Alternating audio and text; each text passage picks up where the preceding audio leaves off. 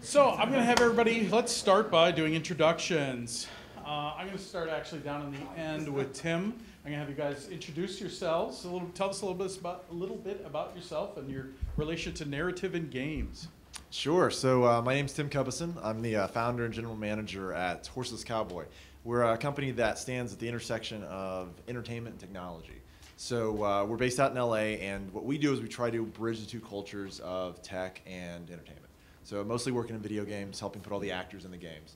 Uh, I was casting director, and we produced all the uh, performances for games like Fallout 4, Skyrim, uh, Life is Strange, the Tomb Raider series, uh, the Halo series, the Destiny series, all those type of games. Uh, I've produced, I think, over a million lines of video game dialogue, which is pretty crazy to think about. Uh, I've been doing this about 10 years and having a lot of fun. So happy to be here. Hi, I'm Thomas Talbot. I'm a, I'm a physician from the University of Southern California Institute for Creative Technologies. Uh, we are a place that uh, was founded to create advanced training products for the military. And uh, so I do a lot of serious games work, uh, mostly medical or psychologically focused. And uh, we do a lot with interactive virtual humans, that sort of thing, and uh, mixed reality, and been doing so for about 17 years. I've been in this field ooh, about 20 years and a little bit longer in television before I was in medical school. Uh, did it? No. Um, so I'm Warren Spector. I already told everybody pretty much my background. Uh, but I'm, I'm with Other Side Entertainment right now, uh, and uh, all of my 24 games have told stories. Uh, my name is Matt Forbeck. I started out, I grew up in southern Wisconsin, actually in Beloit, Wisconsin, a little town down the road. I started out in tabletop games working with companies like uh, TSR and New Infinities and a bunch of other ones. Uh, I ran a company called Pinnacle Entertainment Group, which did Deadlands and Brave New World, which were a bunch of tabletop games. Uh, nowadays, I mostly write novels. Uh, my second Halo novel is coming out on November 14th. My third is already finished and turned over. I also do some video game work. I did. Uh, I worked on Ghost Recon Wildlands. I worked on uh, Assassin's Creed Origins, which I can now finally say today because it just shipped, um, as a script doctor, and I've done bunches of other stuff. I wrote the Marvel Encyclopedia, um, lots and lots of other things over the years. Used to work with Tim, actually. And I'm Tim Gerritsen. I used to work with Matt. Uh, I started out 25 years ago making sims for Dynamix, doing A10 Tank Killer and Aces of the Deep and stuff like that. And over the years, done a bunch of things, including uh, Bioshock Infinite, Prey, Rune, Dead Man's Hand, uh, Batman Arkham Origin, a whole bunch of stuff in between. Um, now, I've, I've written scripts, I've hired scripters, but I've been all over the map. I'm a producer, designer, so that's, that's my tie-in. All right, well, thank you everybody for coming. Uh, this is a fantastic panel. I'm really looking forward to this. So we're just gonna, this is a panel. We will leave some time at the end for Q and A, but if you if you're dying to know something, you know, we can we can pause. But the idea is here is to throw out some topics and let these guys riff on it a little bit. So let's dive right in. Um, what do you guys think is the current state of narrative in video games? What's your opinion of the current state of narrative in video games? I think it's pretty fantastic personally. I think uh, we're doing more uh, inter- interesting and innovative stuff in, in narrative than we ever have before. Uh, we're doing lots of stuff in branching storylines and just showing people different ways to tell stories in open world so it becomes more their story than anybody else's and unique ways that couldn't possibly be replicated in any other art form. So I think we're doing some pretty fantastic stuff. Plus, they keep hiring me, so I think that's okay too. Uh, I think it's we're in kind of a schizophrenic time. Uh, there's a part of me that agrees with you that uh, there's a lot more open world uh, action these days, uh, and a lot more player-driven narrative these days than there used to be. Uh, and on the flip side, we've got a bunch of, of you know interactive movies that I have no interest in. I think we're in a era of begi- of beginnings. I think compared to what we're going to be able to do, what we have now is pretty, fairly primitive. Uh, But I do enjoy the fact that there's some wonderful stories being told out there, and being told very well. I just think the way we'll interact with those stories is gonna change quite a bit. Yeah, I, I think it's an exciting time for stories and games. I think the cool thing about games is that we have a bunch of different ways to tell stories, right? So we can have everything from the interactive movies that some people love and some people hate, to uh, to games that have very in-depth stories but no plot, right? It's purely environmental storytelling. Um, so I think it's cool that we have that diversity, and you know, kind of everyone can find uh, the story that fits them. So now that we laid the groundwork a little bit, let's dive into some deeper stuff. Diving into technology, is there anything we lack? Is there anything you're gonna, man, on a technological, purely technological standpoint, is there something you wish we had that we just don't? And if that is the case, what would you advocate for to improve narrative? And I know it's a weird one because we're asking a technology question right off the bat, but rather than a pure narrative. I think, uh, I mean, I know for me, you know, working with actors and whatnot, the holy grail for us has always been uh, fully integrated performance capture, right? Where you can do the face, you can do the voice, and you can do the body all at the same time. And we've gotten close, but it's still terrible, right? Because one, it's incredibly expensive, so only a very, very small percentage can actually use it. But then, even when you do it, I think every time we've ever done full performance capture, we have to ADR all the dialogue anyways, because either the script changes or the facial capture's not working or whatever. Um, so I know for me, I would love to get to the point where we can, for games that need full performance capture, we could actually use it. Yeah, for me, I'm sorry. I'm taking this Yeah, we don't have to do it in order. order. Um, Yeah, for me, I- I'd like to see more of a focus on non-combat AI. Uh, Even our open worlds are basically about, you know, I want to kill that thing this way, or I want to kill that thing that way. Uh, And we spend a lot of time on combat AI and, and frankly, just how to navigate through increasingly complex 3D worlds. Uh, And I don't see a lot of uh, forward progress uh, on the non-combat AI stuff. There's a lot of canned non-combat stuff in those interactive movie kind of games I was talking about, but uh, there isn't a lot of uh, open world non-combat stuff. Uh, for example, um, you know, I've, I've had this picture in my head for, for a long time. And by the way, I'm as bad as anybody else. I'm not, I'm not working on this either, okay? Uh, so, so I'm a little bit of a hypocrite. But I've had this scenario in my mind for a long time, and, and I've talked it over with, uh, with some friends of mine. Um, and it's, I call it the glass of water scenario. Uh, I don't know if any of you have heard me talk about that, but uh, it, we can't do a scene where there are two characters sitting across from one another with a glass of water in the middle. And first of all, you can't, most games, you can't knock the glass of water over, which is annoying. But let's assume this is a game where you can knock the glass of water over and knock it in the lap of the person you're talking to and have them respond appropriately. And by appropriately, I don't mean getting a gun out and shooting you or standing up and brushing off their pants or uh, saying, oh, don't worry about it. The point is, if we could have AI that was responsive enough and open, as open as our worlds, imagine how that would change games. Um, if, if I'm six years old, my, the character on this side is six years old, and the character on the other side is 70, and that kid's grandfather, that response is going to be very different than if they're two 30-year-olds who, you know, I stole that guy's wife. Uh, and nobody's made a game that, I mean, like, you can't even knock the glass over, right? Uh, so the more non-combat AI would be really nice. And I think, uh, part, I just like to see story integrated from the beginning, right? Because a lot of times, you know, you bring a storyteller in at the beginning of a game when they're just developing the background and, and the world and everything else. And then they tell you to screw off for about, you know, two or three years. And then you come back at the end and you write all the dialogue after they've assembled everything. So you kind of get this Frankenstein's monster that you're trying to make sure that nobody can see. People see as few of the stitches as they possibly can.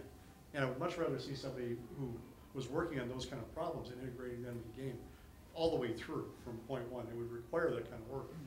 But, you know, we're, we're such an action-oriented industry as opposed to a motion-oriented industry or experience-oriented industry that it's gonna be a long time, I think, till we get to that point. Yeah, I, I mean, I see everything kind of pre-scripted, kind of linear, um, not always, but I, I think I would second about the AI and the, the storytelling capabilities and the interactive capabilities of the characters. I'll talk a little bit about that at three forty-five in the dialogue agent talk. But, um, just one example, um, you know, every time you play a game through, you might have a different branch, it might be a little different, but all those scenes are the same every time, and they happen at the same moments. Um, and that hasn't really changed uh, in a long time. And, you know, I wonder, you know, if you've done something really well in that battle or something, did you earn that person's trust? Or there's something, is there, could that dialogue come out at certain times contextually that is important and come out a different way each time? Or maybe not completely come out at all because of the relation you, relationship you develop with the, with the NPCs of the game. I, I think that's where it can get really interesting, but also really hard to do. I think uh, just to add on to that, it, there's a funny story we were talking about last night in Skyrim. I don't know how many of y'all played it, but there's this uh, companion Lydia, and she has this line where she says, "I'm sworn to carry your burden," right? And uh, but the way that she says it is very snarky, almost like, "Oh my God, you're making me carry your stuff again," right? And so it would be so cool if that was further developed and we had the ability to like find out that relationship, uh, you know, deeper as you play the game, because that's really the only moment that is like that. You know, and it's never explained, it never goes deeper. So it would be amazing if we could have, you know, that AI that developed with you and you could really find out who they are. See, in, in that scenario, what I would want to see is, um, depending on how you treated Lydia, Mm. her the way she said that would be different. So it didn't have to be snarky. Yeah. It could be joyful that she Mhm. gets to do that. Uh, that kind of open-endedness. The other thing I would love to see, and I, I again, I have no idea how to do this, but uh, I would love a virtual dungeon master.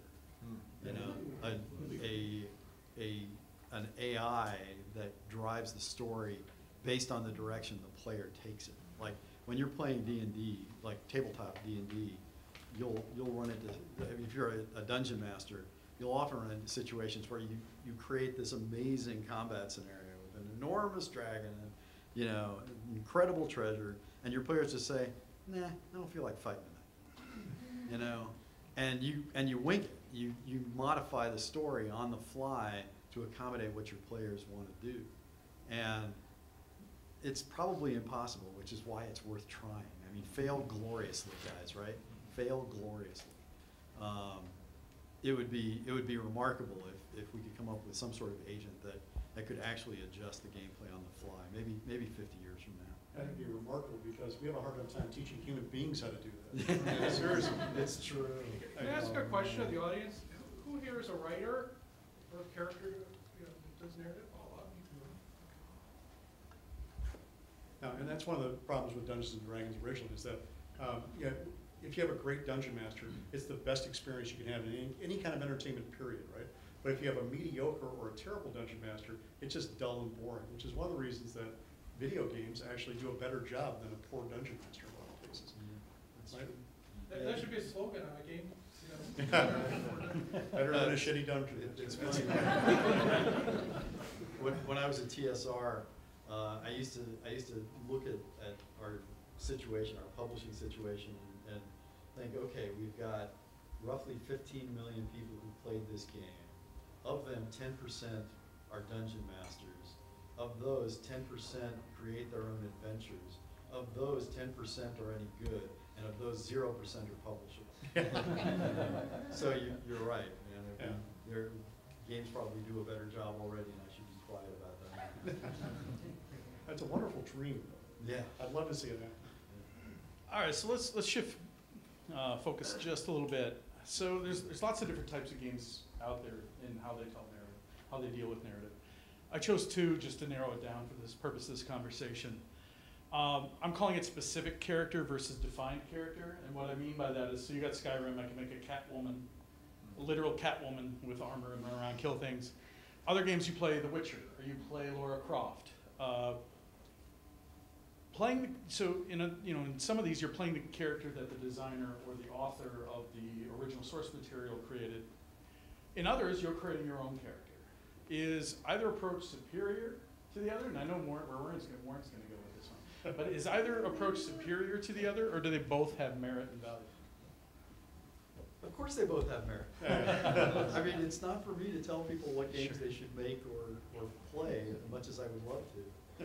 Um, you know, there's, there's value in, in a Lara Croft because, well, okay, in, in games like that, typically, the story belongs to the designer. And the designer knows exactly what's going to happen with every step or almost, almost exactly. Like, I mean, when you, when you describe the experience of playing a Tomb Warren, Raider. keep talking to the mic, sorry. Oh, sorry. When, when you um, play a Tomb Raider game, essentially, the description of, every player describes the same experience. It's like I was saying this morning, I think games can, can do better than that and allow players to create unique experiences uh, that belong to them. But there's something really powerful about, you know, wasn't it cool when Lara, or when you even, wasn't it cool when you leaped across that chasm and you almost missed, but you grabbed onto it with your fingertips and then you looked up and there was a wolf looking down and, you know, every player describes exactly the same experience. And at that point, the way I feel about it is you might as well make a movie.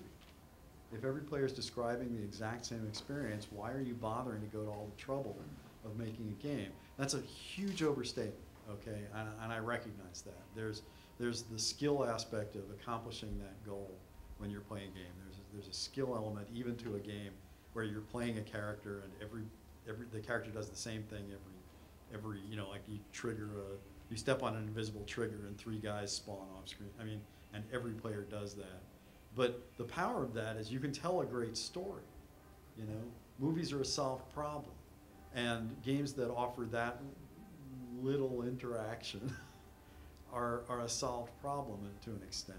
Whereas games like Skyrim, um, you know, the big open world games, really do belong to the player. You know, it's not just that you can create your own characters, that you can create your own, your version of the world is going to be different than another player's. And your story in, in that world is going to be different than other players, which I think is more interesting. But, you know, your mileage may vary. If, if you want a great story, play a Tomb Raider game. If you want your story, play Skyrim. But they're- they both have value. Then we get these hybrid games like uh, Grand Theft Auto or such, right, where it's a lot of open world stuff, but you're playing specific characters and you're, they you have specific story arcs that go through it as well. So, you- go ahead. No, Answer. no, I- I didn't mean to- You seem like you're grabbing there. I didn't mean No, uh, so you get these hybrid things where, you know, you try to get the best of both worlds. Doesn't always end up being the best, sometimes it's the worst of both worlds, but uh, you, you get that sense of your, of freedom of wandering around, of creating your own side stories, but you're following the same central arc, right? And so there are different ways that people attack these things. One of the main reasons companies like to do uh, main characters like that is merchandising and marketing, honestly. So I- you can sell Lara Croft, but you can't sell everybody their own World of Warcraft character, right? Although the- now they have, you can actually 3D print these guys out, so yeah. But, you know, they're not gonna make the movie on those guys, they're gonna make the movie or the- the novels or whatever else, out of the ones that they've created for the single player type stuff. Yeah, I think it's interesting. I think there's, I don't think there's a better approach. I think, you know, like they've said, they both have merit. I think that the, the, the games where it's a very defined character, they're plot-driven games, which goes back to what he's saying. It's, it's about the plot, it's about the journey. It's not about necessarily your experience. Um, and I think, you know, I agree with Warren. I, I think some of the game's most interesting moments are not plot. You know, it's not telling a story through plot, it's telling a story through the environment which I think these open world games do well. What's interesting uh, uh, when it comes to casting these characters, right? Uh, it's it's a challenge because when we cast Fallout 4, you know, it was the first time that the protagonists, the player characters, were voiced, uh, and there's a big debate whether or not they should be voiced or not voiced. And and when it was finally decided that they should be, uh, it's a challenge because when you're casting uh, Laura Croft, you're casting a very specific character who has a personality. Or when you're casting Nathan Drake, right, he is this snarky, kind of fun-loving Indiana Jones type, right? Whereas when you're casting a player character that's going to be created to look like a bunch of different things, uh, you have to be a lot more vanilla. And so it's odd in directing those actors and in casting those actors because you don't want someone with too much personality. Because if you're creating your cat person, right, and the voice actress is very bombastic, right, then it may not work for you. So it's, it's, a, it's a weird thing in games. Uh, and, and I guess the question is, do we need to voice them or not? I think there's definitely an immersive element of having the voice, but it can be distracting as well. Uh, the other crazy thing that I'm curious about you guys, if you have worked on, is uh, plot-driven games where the protagonist can't speak. Right? That's uh, that's an incredible challenge. We worked on Command and Conquer Five, one of them, uh, doing the story, and it's just crazy because you have to write. Everyone around you has to answer for the player, but the player is supposed to be there, and it's just it's a crazy challenge. I don't know if you Try System Shock, where not only can the character not talk, there are no living NPCs, and you have to tell a story. Oh. That's, that's a dramatic challenge. Mm. But you know, the, boy, there are about six things I want to say. Um, the, the voice challenge is, is a, is a real one. On, on uh, Deus Ex, we had a named character, J.C. Denton. And, and yet I wanted it to be the player's experience. So how do you balance those two? And I wanted the character to have a voice and a backstory. But I, I didn't want to give him too much personality because I didn't, like, if you're in the middle of a scene and it's the player's story, I don't know if the player's angry or happy or sad or confused. I don't know if the, the player is, is feeling those emotions. And if the character is expressing anger and the player is feeling confusion, or the, the, the character's feeling anger and the player is experiencing elation, there's that disconnect. And so, man, the poor actor, Jay Franke, I, I had, I had to tell him to talk like this and not put any emotion into his voice, and obviously people thought the performance was really bad, and it was exactly. Uh, You know, but that, that was my solution to the problem, and it probably wasn't the best. But, but one other point, um, you know, there, you're right about plot-driven games and, and, uh, player-driven games, I guess. Um, but what I try to, I'm not willing to give up the plot, despite all of my, my whining about player experience. I don't like giving up that level of control. So if you look at all of my games, they're all structured in the same way. They're structured where I own the narrative arc. I own what, what you're doing, and I own what makes that important. But the player owns the how that is accomplished. I don't care how the player gets through a door. Most games care how you get through a door. It's ridiculous.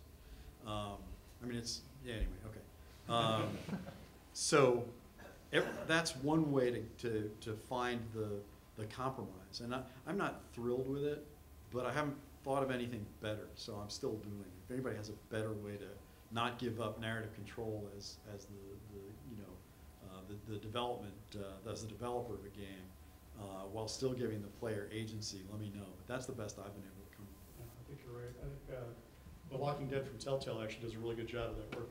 You know, it, it, every time there's a scene where you know somebody's gonna die or not die, you know they're gonna die within five minutes, right? Because you don't wanna have to voice that character for the rest of, of the series, so they get killed off one way or the other. And so what you do really doesn't matter in terms of the, of the arc, but emotionally it matters tremendously, right? So it, it's even to the end of the, of the, of the game, I don't wanna spoil it for people, but there's a guy who confronts you and says, these are all the horrible things you've done throughout the game just to give, just drive that emotional moment home for you at every screwed up thing that you've had to do throughout the. I think that's a wonderful way, again, it's not so much what you're doing, but how you're doing it that counts to people. I And feel you can that- own that as an individual too, which is cool. I feel that it's interesting. It's kind of like TV in the sense that uh, you know one of the main differences between TV and, and film is that film is plot driven, whereas TV is character based, right? And some of my like most memorable story moments in video games aren't necessarily the plot. It's for instance in KOTOR where I found out one of my you know companions who had been playing with for ten hours, twelve hours was now I had to either kill her or you know kick the other guy off the ship, and that was a really difficult moment for me. I don't even know what happened in the game anymore, but like I remember that so clearly, um, and I think you know that's what we should strive for. I mean, plot needs to be there, but you know, kind of taking a, page from TV maybe is a, is a good thing and be all about the characters. So a couple of you guys mentioned voice acting. Let's talk about voice acting. Uh, has voice acting been a net positive in our ability to tell stories, or has it restricted us to a narrower story path? I like it, I think it's, it's much more immersive that way. I think it's, uh, to be able to have somebody talking to you directly as opposed to you having to stop and read or skip through the reading, as it often happens. But to have somebody actually talk to you and you be able to, to see the face and to see the actor and see them emote, I think it gives you a lot more context for how you're supposed to be feeling as a character in that game. I love voice acting. Um, I think it's wonderful. It gives you such a range of what you can do with the same dialogue. And um, a lot of the work I do, it requires synthetic voices because what's being created is being created at that moment sometimes. So we don't have the option of a voice actor all the time. And I, I think it adds an incredible richness. Yeah, I think it's necessary and constraining, both. Uh, You know, it's like I, in my, in my heart of hearts, I wish we didn't have to do it, but in my head and in my wallet, I know we do. Uh, as a sidebar, does every other male actor have to be Nolan North? I think that's actually the And sorry, Nolan, Nolan's an amazing actor, but he's so good, he is literally in every other. He, he has a contract with the entire video game industry. He's in it every game it has to be. That's Nolan on the left. Um, it's funny. I, I think you know voice acting again goes that, back to that dichotomy of video games where I think it can be a huge asset, right? And I think it can create a lot of uh, connection with the player. Uh, and then sometimes a game doesn't need it and shouldn't record it, but maybe feel they need it and do it anyways, and it does does uh, take away from the experience. But I think you know, we're humans. We like relationships. We like to hear people and see people. And, and like you said, if you're talking to a character that you a companion, you know, or, or something like that, seeing them, looking them in the eye, having them talk to you, hearing in their voice, you know, uh, what they're feeling, it just has a much more powerful effect than just reading text. I feel. I mean, what, the, going back to tech, what I really love to see, and it's kind of matched to uh, to facial capture again, is if we can get to the point where body language is, you know, as realistic as we have in real life, that would be amazing. Because what's so sad so many times, you know, doing voiceover, especially for a game that doesn't have facial capture at all, is we'll give these great dynamic, or the actors give these great dynamic performances, but then it'll be on a model that just looks dead, right? And so it, it works a little bit, and then you still feel it, and it, but it's not the same as gesturing with their hands like I'm doing, or you know, flinching from you and things like that. Yeah, but- Nuance is so hard to. But you're AAA, I'm low budge. And the thing is, I, I think back to, let's say, StarCraft, where there's a little, about eighty by eighty pixel thing of Jim Raynor. Mm. You know, and the voice acting made it. It gave a plot, it gave characters that people got to know and loved. That was not intended, I don't think, by the, the authors, the people who wrote the game. But they found, oh, the character has this following, in the new versions, we've gotta make these central elements. And it, all it was, was, you know, fairly cheesy mm. voice acting, but it was good enough, and it made the difference. And I thought that was really cool. I don't think it all has to be AAA awesome. I often think, what can I do on a really low budget? And a little voice to me goes a long way. Yeah, that's true. I can, I can back that up. Uh, I mean, it goes back a long ways to 1994, but uh, when the original System Shock came out, um, I was working for Origin, which was owned by Electronic Arts. And uh, to be frank, we were forced to ship the floppy disk version. This is how old it is. But we were forced to ship the floppy disk version of System Shock in September of 1993, 94. And then um, it, and it, it did okay, and the reviews were sort of okay. And, and then in January of the following year, we shipped the, the CD-ROM version, which had all of the voice acting. The, the, the floppy version was silent, and the, um, uh, the CD version had, had all the voice. Um, and there were no characters. There were no living characters on the ship, the, on Citadel Station, which is where the game is set. But there are all these video logs and V-mails and, and things like that. And just having a little squidgy 80 pixel tall, you know, head that was going na na na na na, it just didn't work silent, you know, where you had to read text. But once the voices came in, um, the, the very few outlets that actually re-reviewed the game said, this game is great. You know, all of a sudden, just, just that one change made all the difference in the world. Well, I think uh, another example that's really cool about voices making such a big difference uh, is Bioshock, right? So you have the audio logs, and in that game, again, I don't necessarily love the plot. I don't think the plot's like groundbreaking. Don't tell Ken. Yeah, don't tell Ken that, man.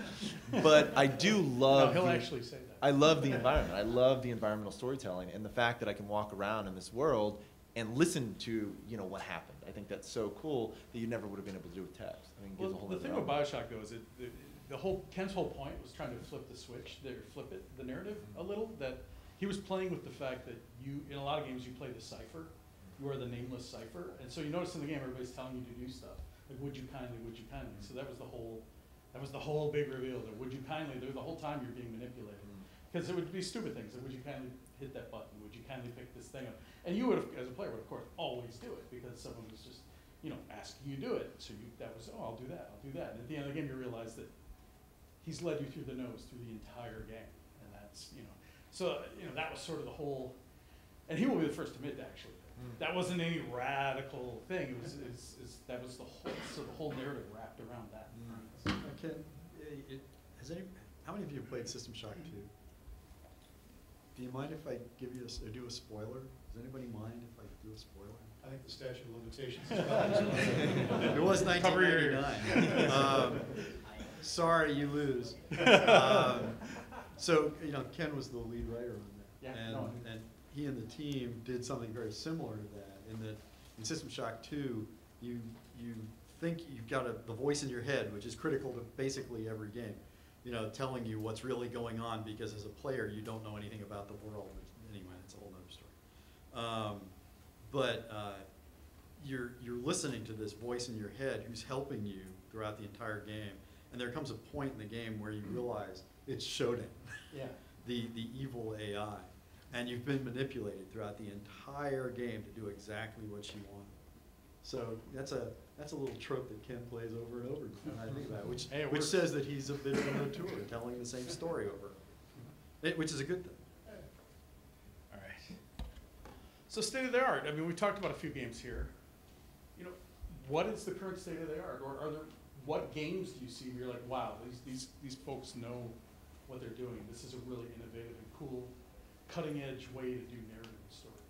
I don't, I don't know if Uncharted four was actually cutting edge in the sense that the narrative wasn't very spectacular, but they, they really, it's one of the most polished efforts I think I've seen, period. Just from one end to the other, the, the voice acting, the plot, the characters, I, it was levels above what the previous stuff had been in the series, and through much, most of other people. You tell me I'm wrong now. No, no, no, no, no. I, I just, I, I, I typically don't talk about other people's games because I don't want them talking about mine. We're trying to say nice things now. Yeah, you know, I, even though I, I don't, I don't exactly make games like it, I, I think the Telltale guys are pretty good at telling Yeah. stories. Uh, they're, they kind of fall into that adventure gamey, cinematic-y stuff that usually I don't like very much. But, um, they manage to, the, the emotion involved in all the choices and the emotional content of them, I think is, is really powerful. Uh, and I think they do that better than anybody else right now. Yeah, I think one of the neat things they added recently was group play. Yeah. right, which they did the last uh, Walking Dead, I think in Batman or whatever before that. So you can have a bunch of people sitting around their cell phones, and when it comes to a decision point, you can actually vote. So it's like watching a movie together, but then deciding uh, together which way you're gonna go from there. I think that's kind of a cool, innovative feature as well. You know, it's funny, because I, I actually did some testing for Sony twenty years ago, that where, in the theater, they actually built in, uh, controllers on the, the armrests of the chairs, and everybody in the audience got to vote on what happened in a movie. Hmm. Ev- Everything new is old again, or, I mean, everything old is new again, sorry. Uh, I think uh, one game that really excited me that we worked on uh, was Life is Strange. And I think the reason why is it's effectively the coming of age story of a teenage girl in right? And in the first one, she did have the ability to rewind time. Uh, in the subsequent prequel, those type of superpowers are gone. And I just think it's cool, uh, you know, whether it's state of the art, I think it's cool that we're exploring different types of stories in games now. Then, uh, you know, I love, you know, post-apocalyptic and Space Marines like anyone, but it's really cool if those exist. And, uh, you know, are they better as movies? Are they better as games? I don't know because I think that it allow it, it makes you make choices, which is interesting, and that's the whole like Telltale and and, and Dontnod. Uh, they're games, they're walking simulators, if you will. Is it makes you make these choices and deal with repercussions, and I think that's it's interesting to uh, to explore that. Brad, maybe for you? Thomas? You know, I don't know, I was, something else came to mind, and it was kind of doing a lot in a challenging situation. I mean, I don't really care what the story is in Cuphead. I mean, it's, it's a boss battle game, um, but it's a nice story, and I like the story. My kids are playing it all the time. I've got five kids. I, something that struck me, and this is not state of the art, was the game Valiant Hearts, which was also a platformer shooter but it put a story in there in a subtle way that kind of reached out to people, and they kind of have a surprise at the end. And one of my five children's autistic, and that was the first time he had an emotional reaction to a game. He'd been playing this platformer, and then he hears how the character dies, and the way the story's told, and it's very true to what the experience was like for World War One in many ways. Other ways not. It's not quite like Mario action, you know, but, um, but the fact that they were able to connect with an autistic child in a way that was a, you know, a platformer, little two D shooter game, I thought was really freaking cool. And, and there was something about how they did that. It wasn't technology, wasn't being state of the art. It was just the artistry of inserting those little facts in and those little storyline into a fairly thin game. That's just what came to mind at the moment. Yeah, I was kind of surprised none of you mentioned, um, I don't know if it's state of the art necessarily, and I- have mixed feelings about it in general, but one of the things that surprised me narrative over the last few years was Bastion, uh, which has this interactive technology-based narrator. So every time you do anything, it's like, and then he picked up the cup. And then, you know, every, so it, and it worked, it was subtle, and, you know, toward the end, I guess, I, I don't know if it's something you can do in every game, but it had this cool sort of, I'm gonna go left now, and then he went you know, and it just, it had this cool technique that I think is worth exploring. I think, I think it kind of wore out its welcome in their sequel. Um, they tried something similar, but I thought Bastion really, really nailed it. So where do we go? Uh, you know, we got four of you here. Where do you want to see us go in the next five years with storytelling? That's an easy one, right? This is where you want to That's all it takes for one game. Prediction is a fool's game. go.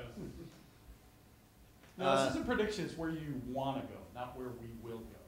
So- I mean, I think for me, it goes back to that dichotomy, right? Is I think there's the opportunity with technology improving and and, and uh, animation looking amazing to have these personal stories and these really cool stories like The Life is Stranges and and, and explore how do we tell stories in games and what stories are appropriate for games. I mean, you have things like Gone Home and, and, and, and things like that that are these really games, you know? But it's a cool way to explore, and I'm excited that we have these indie developers uh, exploring that and seeing what other stories can we tell, how else can we tell stories.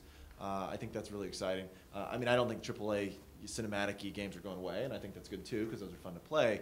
But uh, I really like to see people kind of pushing the envelope about what stories we can tell, uh, from what perspectives and, and things like that. I think it's fun. Yeah, I'd like to see the tools get easier for people to use for indie developers.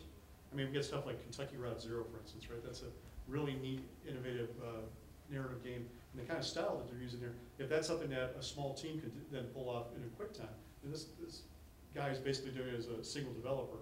It's taking him forever to come out with each chapter. I'd like to see him, uh, the tools evolve to the point where lots of different people could pull that kind of stuff off more quickly. Yeah, I feel like I answered the question already. All right. You know, uh, but, uh, uh, the ability to dynamic, I mean, dynamic gameplay adjustment, not dynamic difficulty adjustment, but dynamic gameplay adjustment. So the, the play, the, the narrative can really belong to the player and that non-combat AI I was talking about. I'd love to see somebody tackle those two things. They, they probably go together pretty well. Other media, um, outside of games, specifically outside of games, where, uh, where do you see interesting approaches to narrative and storytelling in other media that you would love to see us look at or examine or play with in our media? Well, And uh, the examples I threw up here were uh, Sleep No More. If you are not aware of it, check it out. It's in New York City now. It used to be in Boston. I had the chance to check it out when it was Boston. It's it was Othello, participatory Othello, which is really weird, but very cool. And the other is, of course, uh, Prairie Home Companion, which is used to be here in the Midwest. But what do you guys see as other really striking approaches to narrative, interesting stuff in narrative and other media that you would like to play with in our media? Well, I, I don't know if it's particularly innovative or new, but uh, television has, has kind of perfected what I, I call a limited serial narrative, where you've got um, individual episodes that each have their own mini arc. They, they come to a conclusion. I mean, think about, um, you know, police uh, procedurals, right?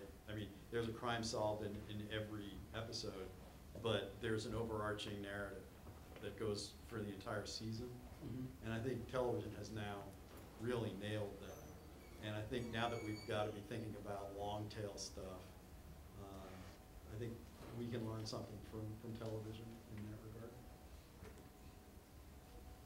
Yeah, I think so. I like that. Okay, I'll, I'll say something that's probably impossible.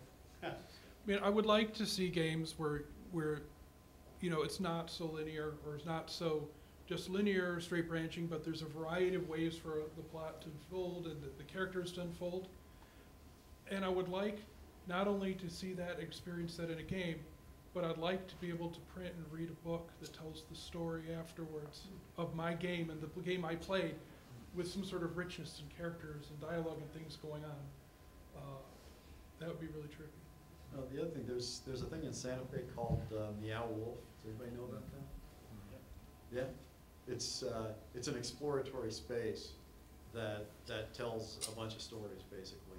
Uh, it's, it's, is it an art installation? Is it a theme park attraction? Is it a story? Is it, it's hard to tell, and it's, but it's, it's kind of interesting, uh, in that everything in there has some purpose. It's not just random stuff. And if you look at the, the, I can't remember what they're called, the locked rooms, the escape Escape rooms. rooms, Yeah, um, the, the level of, I mean, it's basically one room, you know? And, um, everything, again, everything in there is, it's not simulated because it's real, but, uh, if we could just get to the point where we can make one room deeply enough simulated that, that there are multiple stories to tell in that one space, I think it'd be pretty cool. Uh, and I think the escape rooms are starting to get at some of that. I actually did something like this at the, the Streets of Old Milwaukee at the Milwaukee Public Museum. They did a fiftieth anniversary of it, and they re, uh, renovated a lot of the area, but they didn't want to change a whole lot of it. So what they did is they hired me to write a story that was actually an interactive narrative that you went through by walking throughout the streets. So if you wanted to make one decision to go this way, that would actually trigger off a Bluetooth beacon that would then put you on a different path in the audio adventure that you were playing through your, through your uh, cell phone as you went through. And I think it'd be neat to see that kind of thing brought out to a broader kind of a- an area as opposed to just this one tacked down part of, uh, of a museum display. That was a lot of fun. I had a great time working on it. I think uh, a cool place too for stories and, and building empathy and, and feeling for people and, and just is uh, is VR. I think that's really a crazy thing, and I think it's very much in, in its infancy. I think uh, Ted Schilowitz uh, had, had described it as the uh, the Gordon Gekko cell phone right now. You know, it's still a ways out before it really takes off. But I, I remember I was at a conference last year, and there was this one VR experience that was uh, actual 911 calls that they then uh, animated to, and you stand in the middle of uh, domestic abuse in this house, and it's like it's insane, right? To see it happen and hear the, the actual dialogue, and I think that because you're there, it's different than watching it on the screen, whether it's a movie, whether it's a video game. So I think it's uh, in terms of telling stories, in terms of making us feel things and having us experience these things, it's a really exciting medium. I, I've got one last one on that. Sure. Um, I saw some experiments, I didn't do this work myself, in audio VR. Uh, and it's audio only, and people are just told a story. And in this study, people, participants were asked, just by listening through headphones, can they recreate the place they were walked through? Sort of like a dungeon, like hearing a story from a dungeon master and be able to visualize that. I think that could be a real cool, I mean, I think like Pokemon Go was an augmented reality phone game with geolocation. It was such a thin experience. But I think about, you know, you're in an old town, you want to explore the ghosts of the historical town or whatever. And just with, I mean, I just think that, yes, you could have visuals, you could have mixed reality. Um, but if it were just audio only, and you had like a geolocation sort of game that was a narrative sort of storytelling game, that would be such a treasure for a story writer. Uh, to be able to use that sort of medium, which, which is just words or a voice actor, or, or several of them. I, I just think the potential that would be cool without all the AAA and shooting and all the other things. I think it would just be about writing good stories. In, and in some ways, I feel we've lost something since we got graphics. And if, if, once, if anybody's played a text adventure recently, I strongly encourage you to do so if you haven't, because there was really something special about that. And I think that maybe we could write better stories by limiting some of the senses, senses, senses Yeah. sometimes. You know, I There's was- a company called Earplay that does that, right? They do uh, interactive audio adventures. Really? Yeah, yeah. I never heard of that. Uh, it's Jonathan, what's his name? Can't remember. But it's a bunch of guys who used to work for Telltale too. Oh, right on. Yeah, so Earplay, check it out. It's on iTunes. you can grab it. There's actually, there's actually one thing, I- if I had all the time in the world and all the money in the world and just could experiment, like, I don't, you brought, I'm glad you brought up text adventures. Uh, text adventures were interesting, but they were always limited by how limited the parser was. You know, if it didn't know the word, the immersion was completely broken. And I'm, I'm surprised that no one's really experimented with that moving forward because we have the ability to do such complex parsers now that you could really create textually, no sound, no graphics, no anything, something really interesting. And no one really has moved forward with that because even even uh, in old 8-bit days, you had no memory, you know, and you could still get away with some really interesting stuff. And for, for me, the reason they always fell short was because I would enter a word that it didn't know, and then boom, the immersion's completely gone. But again, you know, I remember a game, Shadow of the Hound, on the Amiga from like a million years ago. And at the beginning of the game, you make up a little Call of Cthulhu character, and it's a throwaway. Like, yeah, whatever. And I, you know, you choose a profession, and it seems like a throwaway. You're like, oh, I'm, I'm going to be an author. And I'm in the middle of the game. Crazy stuff's happening in London, and some person just walks up to me and says, "Hey, aren't you that author?" And you know, starts wants an autograph and has a conversation with you. And this was all a textual game, and this was you know, 25, 30 years ago. And it's just it's amazing to me no one's really experimented with it further because I, I think that would be at least an intellectually interesting prospect. I don't know if it would be commercially successful, but it would be hell of a fun I my, my comment about that is, I agree. I don't think gameplay's gotten any more fun in the last twenty years, but I think we have gotten better at telling stories and, and like, it, it reinforcing to the community that narrative's important. And I don't, I don't remember hearing that everywhere 15, 20 years ago, and it's, it's ubiquitous now, so I think we've had some progress. Fifteen years ago, I was in a room with a bunch of executives for a company I will not name, and I was told, Warren, you're not allowed to say the word story ever again. Wow. Things have changed. All right, well, at that point, I want to give some time to you folks in the audience. Hit us up with questions. Uh, I will share out my mic. Can I do that? All right, that way they don't have to give up theirs. So, uh, we'll start over here, we'll go around. Um, is this on? Hi. Um, do you have any tips for, like, like just adding character quirks with like to the playable character without overbearing the player's agency? I wouldn't do it. Any tips for non-player characters? Be a good writer.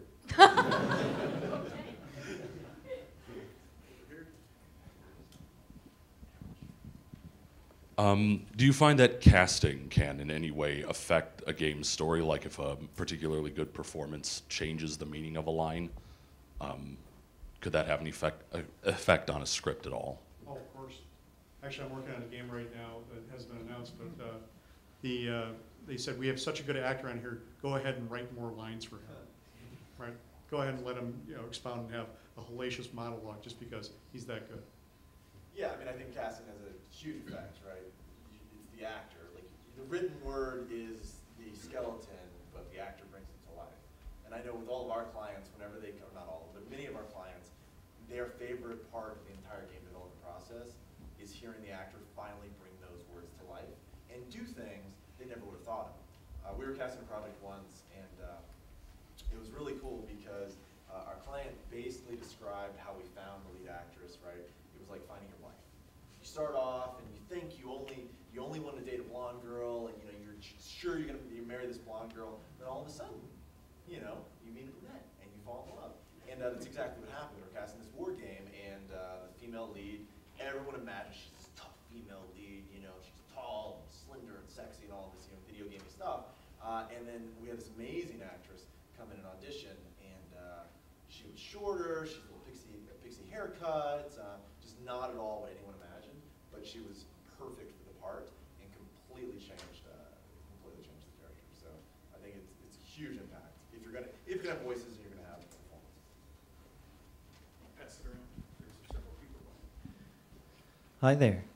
Um, I was wondering what your thoughts were on uh, procedurally generating narrative on the fly to actually change the game, uh, and and if any of you have experienced that kind of thing, and where you think that could go, or any advice on that kind of thing, because I'm kind of interested in it.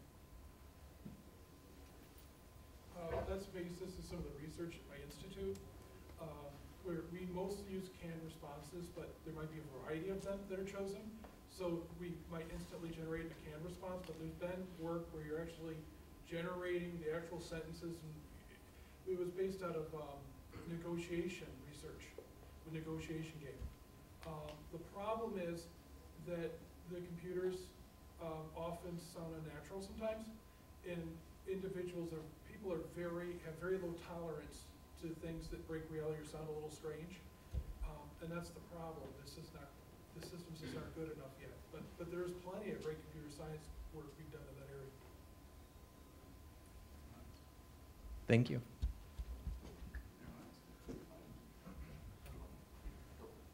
So, I know that you guys have been talking a lot about like voice actors and like plot development and like that, but not a whole bunch on like the scenario-driven areas or even like the music that goes behind the characters. Can you elaborate a little bit on that for plot development?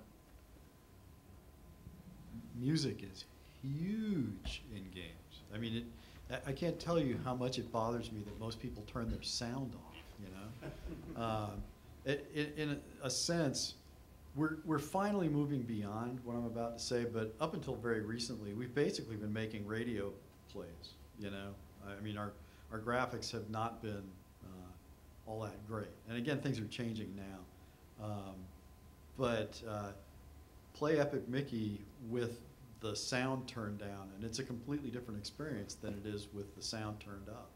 We had uh, Jim Dooley, who's an Emmy-winning uh, composer, do the soundtrack for the game, and I, I mean, I, I told him I've been waiting my entire life to make a game that's worthy of a soundtrack like that. Uh, and you can buy it on iTunes, or at least you used to be able to. So I, I strongly recommend doing it. Did, if anybody remember Pushing Daisies, the TV show Pushing Daisies? He did all the music for Pushing Daisies. Really amazing guy, and the emotional content, uh, the emotional effect of the game just went way up, way way up, uh, and really supported and, and built on uh, or built up the, the storyline dramatically. It's hugely important. Yeah, I second that. Music is, you know, it's, it's, it's key. Uh, I think there's this great uh, experiment. So uh, the Dracula from I think the 1930s uh, is silent. It, not silent in terms of dialogue, but it has no music. But oftentimes, if you go see it at a theater, like during Halloween or something like that, they'll have a live accompaniment, right? And it's amazing the difference. Having like, like I saw it with Philip Glass compose something specifically for it, and it was an amazing experience watching this movie, and the music just changed uh, how you experience it. Uh, I remember in film school, they would show us uh, videos. They'd have a scene, and you had scary music on it. It'd be scary. And then they put some silly music, and all of a sudden it won't be scary anymore. Uh, music just has a dramatic effect on experience things. Test the microphone, here we go, one here. Um, I, I, I can talk loud. Um, And then we'll go back to you. uh, in, in this discussion, you've talked a lot about, uh, both the narrative and, uh, uh, character performance. But do you ever think about how, you- the tools you can give the player to, for their performance between, uh, uh, I don't know, fighting styles in a combat situation, or even, like, the thing that I think about a lot is in A Boy and His Blob for the Wii, there's a hug button, and it did, it had no gameplay function, but whenever you used that button, it informed you about what that relationship was, and it let you perform inside of that role. Do you, uh, uh, do you guys ever think about how you can let the player be a better actor? Right now. That's a really interesting idea. I haven't thought about that. So no. Maybe that's a- what you could add to game. Yeah. It's a good idea. That's your one new thing. Do it. Back there. Um, do you feel like a um, focus on uh, spectacle and um, using the narrative to string together a bunch of visually impressive um, set pieces is a um, problem that uh, the industry is currently um, is going to have more of, or do you think that's something that might uh, be waning away uh, as time goes on? I don't think that's gonna wait away. Uh, that's, uh, all I have to do is look at cinema to see that's exactly where all that stuff is going, right? For AAA entertainment, especially stuff that has to be sold across cultural barriers, has to be sold into China, has to be sold into all, all across Asia and, uh, in Europe, et cetera. Um, spectacle is one of those things that translates really well, right, without having to use any kind of language. And I think because of that, you're gonna see people relying, at least in the short term, like the next 10, 15 years, more and more on that, even in games as opposed to just any other kind of media. I mean, in games, we can do things that you can't do in cinema and you can't do in television, especially for budgetary reasons, and we just blow the doors off stuff. So I think that's one thing we really do spectacularly well at, to. I'm not sure if that's a good thing or a bad thing, that's just the thing. So. What do you guys think? Yes, are you, are, are- are you saying that using narrative as a Band-Aid for spectacle and, and not having it integrated? Because I think that's always a problem. If, say, a designer knows he wants to make a game with these cool levels, but he doesn't think about the story until later, I think that always ends up being a pretty bad story and not the best game. Um, which I think is sometimes a problem, uh, with how people approach games, movies, anything. You know, like if all you know is like, I wanna make a scary movie and it has a crazy clown, that's cool, but that's not a plot, that's not the entire thing. I think you have to, in pre-production, figure out what your story is, how that matches with your gameplay, why you end up, you know, across the country on level three, things like that. Yeah, but like with everything else, execution is everything, right? I mean, if it's done poorly, it's gonna suck. It doesn't matter how much the budget is for, or how spectacular it is. If you have good writers, good directors, good producers, that kind of thing can be done amazingly well, too. But it's really got to do with the, the quality of, the- of the execution. Yeah, I've, I've tried starting with the big set pieces.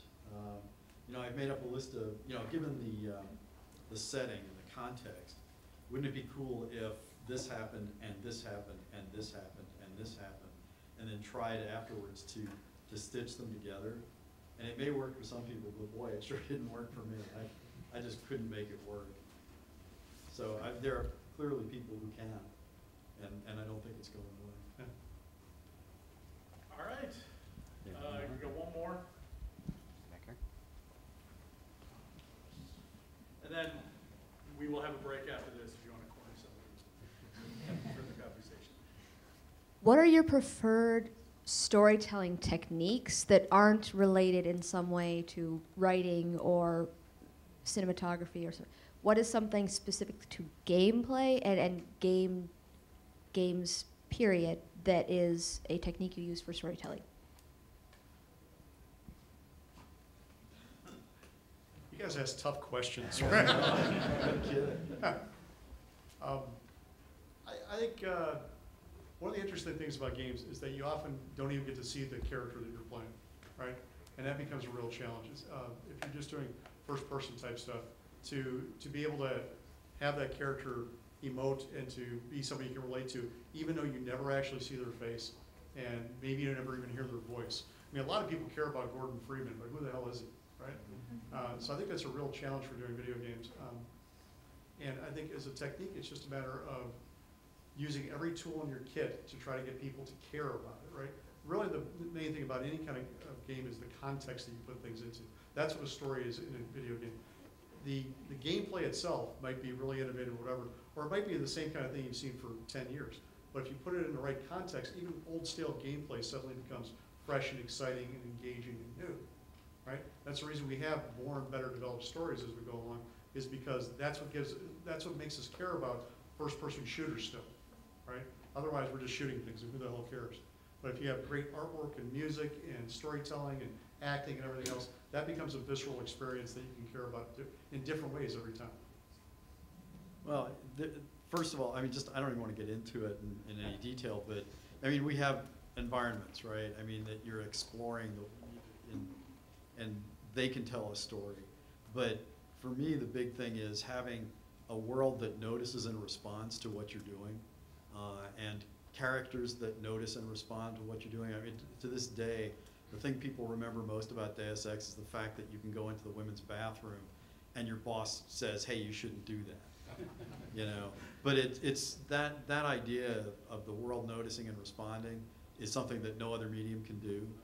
Um, and it's, it happens throughout the game, not just the women's bathroom scene. I mean, in the, in the very first mission, you can kill everything that moves, or you cannot kill anything that moves. and there's one character who says, how could you let them all live? They're, they're terrorists, they deserve to die. And there's someone else who says, how could you, how, why didn't you kill them all? The- yeah, I mean, sorry, the other way around, you know what I mean, right? I'm getting confused now. Um, But, but having the world notice and respond to what you're doing is something that only we can do, and so we should probably do more of it. Yeah, I, I agree with that. I think, you know, one of the really cool thing about video games is you allow the player to make choices and they can make their own stories. You know, even if you look at a strategy game that may not have a plot. I mean, I have very fond memories of playing, you know, these RTSs and whatnot growing up and remembering, oh my god, I almost took over Europe and then they invaded the Huns or whatever happened and then, oh, this guy, you create your own stories and that's what's cool about games is that you have that ability. Um, and that's the reason I think there are so many different ways to tell stories and experience stories in games. Um, so we should have all. I mean, I don't do what you say or what you're asking about, but I hire people who do.